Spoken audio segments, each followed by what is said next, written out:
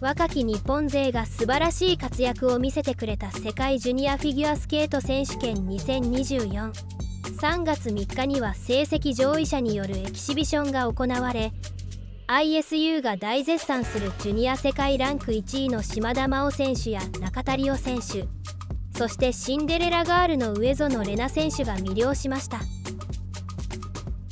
これが本当にジュニアの競技会なのかと疑うほど高レベルの戦いとなった今大会。男女シングルでは4回転ジャンプが次々と成功しカップル競技でもシニア顔負けの演技で魅了する中日本勢が表彰台に上がったり初参戦ながら素晴らしい演技を披露したりした日本勢。この今シーズンのジュニアナンバーワンを決める今大会で活躍した選手たちを ISU も絶賛。見事2連覇を果たした島田選手についてはトリプルアクセルはステップアウトとなったが4回転トーループを決めると浜田美恵コーチをボードの高さにまでジャンプさせたと評すると中田選手についても4回転トーループで足を踏み外してしまったがその後の彼はジェームズ・ボンドのように冷静沈着で2つのアクセルを含む7つのトリプルジャンプを決めた。とその落ち着きと逆転劇を評すなど日本勢の活躍を称えてくれていました。そんな2人は今大会後に更新された世界ランクで3シーズン総合のワールドスタンディングと今シーズンのみのシーズンワールドランキングの両方において1位を獲得。その他今シーズン世界デビューの上園選手がワールドスタンディングでいきなりの8位など大躍進。そんな3選手は日本時間3日夕方から行われたエキシビションに登場。ピンクのニットと短いデニム姿で登場した上園選手はジャスティン・ビーバーメドレーに乗り華麗なジャンプを次々と披露すると笑顔全開での演技に会場や見ている方々を次々と虜にしていました。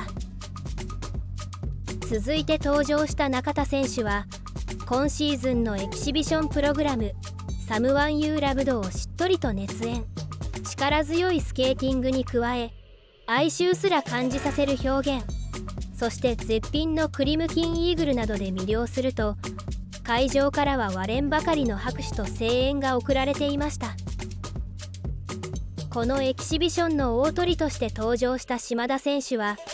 この日が誕生日の村本哉中さんが振り付けた「チャンピオン」を披露。昨シーズンまでのプログラムから一転大人っぽさ満点の演技と持ち前の華麗なジャンプを次々と見せつけ今大会を華々しく締めてくれていました。このエキシビションでは好きなプログラムを会場の方々が投票するコンテストが行われたりフィナーレでは即席男子ペアが若さあふれる即興技の数々を披露してくれたりとさまざまな演出があったこともありファンの方々からは「毎年こんなに面白いことしてたっけ?」との声もそんな素敵な大会となった今大会に出場した選手たちからは次々と感謝の報告が SNS に投稿されており来シーズンに向けて励み成長していくことを誓う内容に期待の声が寄せられていました詳細をご覧になりたい方は「説明欄の URL からどうぞ。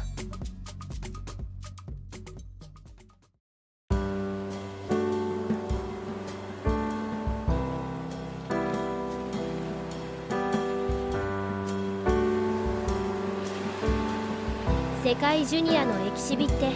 毎年こんなに面白いことしてたっけ？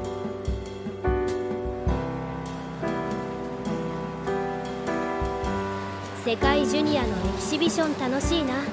割と好き放題やってる感じだしこうなると日本で世界ジュニアやってほしい。13歳っぽい服装でも洗練されてて13歳に見えないレナちゃん。上園選手は銅メダルおめでとう。そしてエキシビションで可愛い格好をしてきたけどどう見ても中学生には見えません。ジャスティン・ビーバー踊っても溢れ出るレナちゃんのお嬢様み。ほんと気品があふれてる演技をぜひ生で見なくては。リオくんはバラード調の曲でクールだけどしっとりと演じ上げましたね。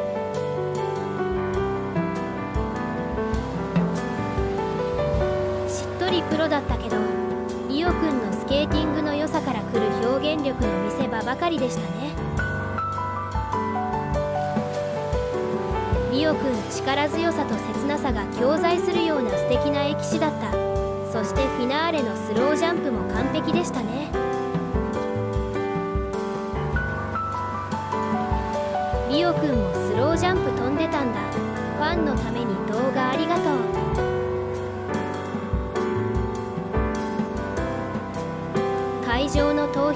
きなプロコンテストがリオくんも何かやったっぽいけどカメラが捉えきれてなかったの残念。クールでキレのあるリオくんの演技。エキシビションでもとっても輝いてました。かっこよかったです。来シーズンも応援してます。魔王様のチャンピオンがキレッキレで。内容普通にショートプログラムと変わらないの面白い。ちゃん振り付けエキシビションプロがトリしかもかなちゃんのお誕生日にってところが運命を感じちゃうな。魔王様は大人かっこいいプロほんとかっこいいし生で見たい。全プロのキャンディーとのギャップがすごすぎません。かなちゃん振り付けのまおちゃんエキシ。これあまりにもかっこいいんですけど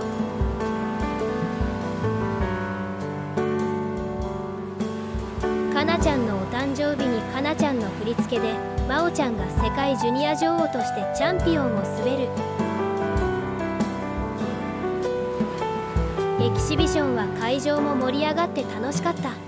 選手や関係者の皆様お疲れ様でした。また来シーズンも頑張ってください。応援しています。